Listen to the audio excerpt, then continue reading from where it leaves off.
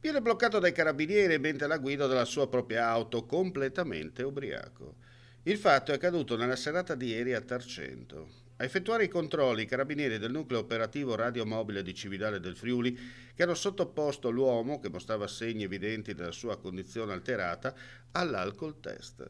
L'esito ha portato a un valore di positività di 2,3 grammi per litro, ben superiore al limite massimo consentito di 0,5, oltre il quale si è superata la soglia di tasso alcolemico prevista dal codice della strada vigente. Durante le operazioni è risultato che lo stesso stava guidando privo di patente, documento che gli era stato già sospeso in precedenza, sempre per guida in stato di ebbrezza.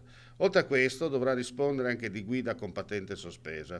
Il veicolo nel frattempo è stato sottoposto a sequestro.